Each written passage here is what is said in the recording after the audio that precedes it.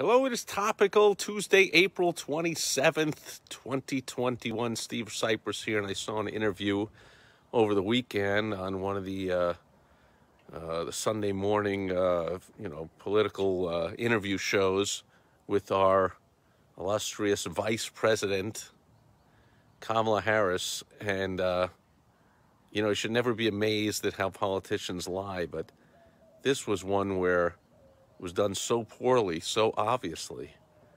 Uh, she told three lies within the span of less than two seconds. And it, it appeared that she was lying pretty much mostly to herself.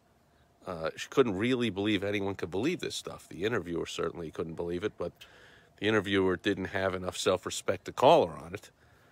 Uh, but it made me uh, think about uh, you know, it's always amusing to me when people uh, complain that uh, a politician is lying. Oh, he's lying. Well, of course he's lying. He's a politician. That's pretty much the job description. That's how the game is played. Would you sit there and, and you know, watch a champion poker player uh, do a bluff, win a hand, and say, he was lying, he was lying? Well, of course, that's how the game is played. Would you watch a a basketball player uh, fake a shot. The other guy, the defender, jumps up in the air and then he he lays it in like uh, he was lying. He was he wasn't really shooting. It was lying. He lied to the guy. It made him think he was shooting. That's a lie. Uh, you know, uh, uh on and on and on.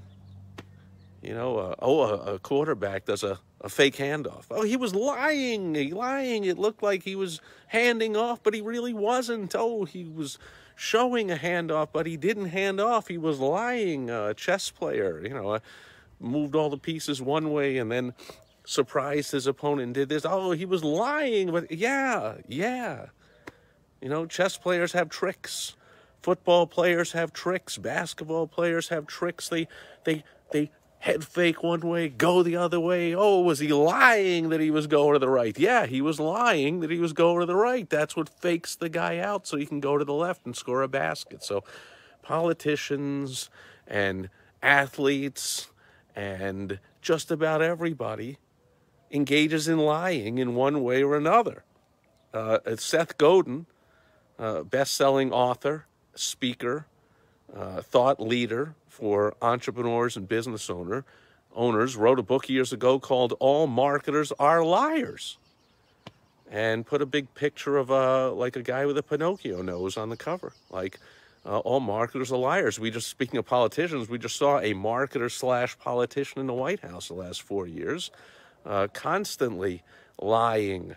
This is the it was the greatest economy ever it was the greatest this and that. We had the best this. Everyone he nominated was the greatest person of whatever and the best at anything. And I only hire the best and I'm the best and he's the best and they're the best and we're the best and everything's number one and everything's the greatest. And you'll see well, this shutdown will be over by Easter and what, you know, what, oh, he's lying. Well, of course he's lying. So the point here, this Kamala Harris, I don't know if you saw it, but it was remarkable how awkward. See, if you're going to lie, you want to do it uh, not awkwardly, like some of those Trump lies and other politicians, and you know, a really bad head fake or a terrible fake handoff, or a you know, a boxer that that fakes like he's throwing a punch, like it. But if he fakes it really badly, he's going to get smashed in the face. So you don't want to do it poorly, uh, like the subject of today's Topical Tuesday. What's in the news is this really bad lie of Kamala Harris the other day I saw on TV and just wanted to bring it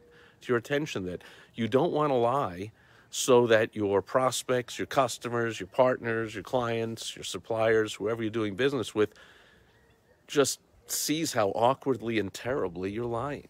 Like it's one thing to, you know, announce a, a new hire to your clients in your newsletter and say like, hey, we got a fantastic superstar we just brought on. Maybe the person is not a fantastic superstar, but it's a good thing all around for your clients to see that you're positive about your staff, certainly for your staff to see that you're positive about them, and, and there's some leeway given there. But in this case, uh, if I can remember what Harris said, it was so awkward, so bad. I think uh, number one, of course, the interviewer was in the tank and, and you know, lobbing up softballs and would have just let anything go no matter what she said. But I think she was almost in a little bit of a shock with how bad a lie this was, but she still didn't call her on it at all. But it was something like, uh, Are you going? Simple question, yes or no. Are you going to the border? Supposedly, uh, uh, our vice president is in charge of all the nonsense going on at the border. Um, are you going to the border? And her answer was, if I can remember, the three lies in less than two seconds were, uh, we're working on a plan. That was the first two. We're working on a plan to go there. Now, you're the vice president of the United States. You don't need a plan to go anywhere. You hop in Air Force Two or Air Force One or whatever. You hop in a government plane and all the security people get on and all the press and all the everything, and you don't need a plan to go anywhere you want on a second's notice. So you don't need a plan. That's a lie. Second of all, working on a plan, that's even worse. You certainly don't need to work on a plan when you don't even need a plan. But even if you did, the work it would take would take about three seconds. I mean, in other words, instead of a disaster caused by a politician of all this child trafficking and drug trafficking and nonsense going on at the border, what if it was instead all these people were in shelters and and and and you know sleeping under these uh, aluminum foil blankets and huddled all together in the middle of a not in the middle but during a pandemic, uh, whatever. Uh, maybe what if that was caused by a tornado, or a flood, or an earthquake? That's what would happen. You'd have all these refugees, all these people huddled all together, looking for help, looking for shelter.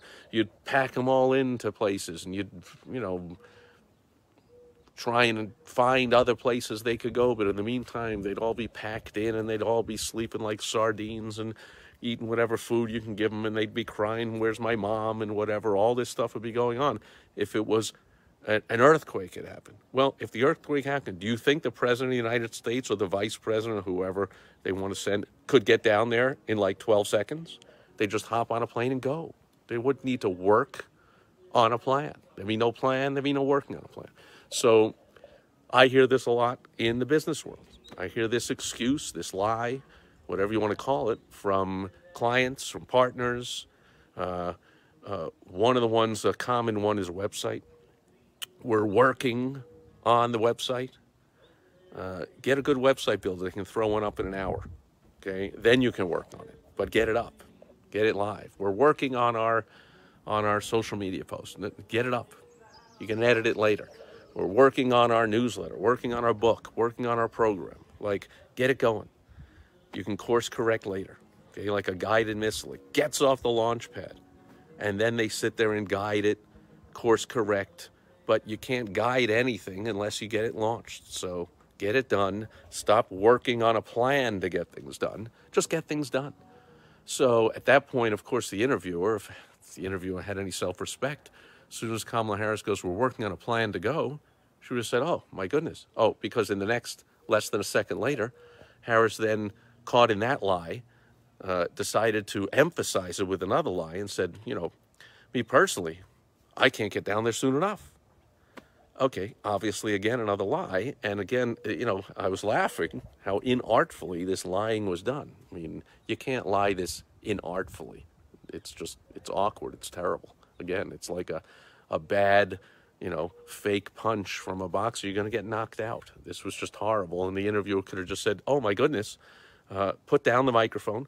Let's end the interview right now, and you can be there in an hour. I'm sorry to keep you. What am I thinking? Uh, of which, of course, Kamala Harris would have had to come up with some more lies and excuses of why she's not going there. Because it's certainly not because she's working on a plan. She doesn't need a plan, doesn't need to work on a plan, and it's certainly not because she can't get there soon enough as as as as far as she's concerned. She can't get there late enough as far as she's concerned. So, uh, three lies in less than two seconds, lying to herself lying to the public, lying to the interviewer, lying to everybody, but really obviously doing it, you don't want to do that. Just my suggestion. Okay, so uh, I understand that all marketers tell stories. That's what Seth Godin really meant. Uh, we're lying, we're embellishing, we're telling stories. You know, if I want to, you know, say something about my employee of the month, I'm going to say all the great stuff that employee did over the last month. I'm not going to mention the couple of things he did wrong, or the two times she was late, or the this and that. I'm going to tell the positive side of the story. If I'm, I don't know, giving an interview, I'm going to talk about the positive things going on in our company, the positive things, the, the thing we're launching, and when we expect it to be done, even if we really not sure it'll get done on time, we're going to say it's going to get done on time, and you know this is what we're going to do, and let's have a positive attitude and all. But there, there's a there's a line to cross between uh, what's known in the marketing world as puffery, in the sales and marketing world, a uh, embellishment a slight lie, a slight, uh, you know, pretty much every what Trump did in every sentence has done for the last 50 years is puffery, kind of puff it up a little bit. So when you have a good economy, say it's the greatest economy ever.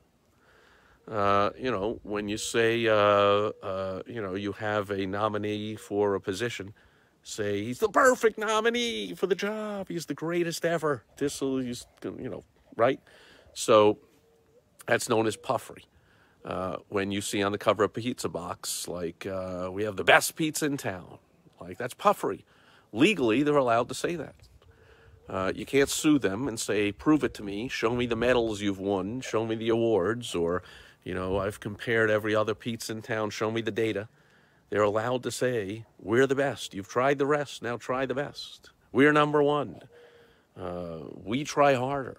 They're allowed to say these things don't be inartful, awkward, and obviously lying like politicians sometimes do when they're just bad at it. Like uh, Harris is, you know, she's a, obviously a senator and vice president. She's had success, but she's really uh, way out of her league, is she not? Uh, there's a reason she dropped out of the presidential race before even the first uh, primary there was uh, during the election, but then Obama handpicked her and put her in as vice president. But man, she's really not good. She's not good at doing the job. She's not good at uh, talking about doing the job. She's just, uh, she's really not good at lying. Uh, business owners, we can always tell.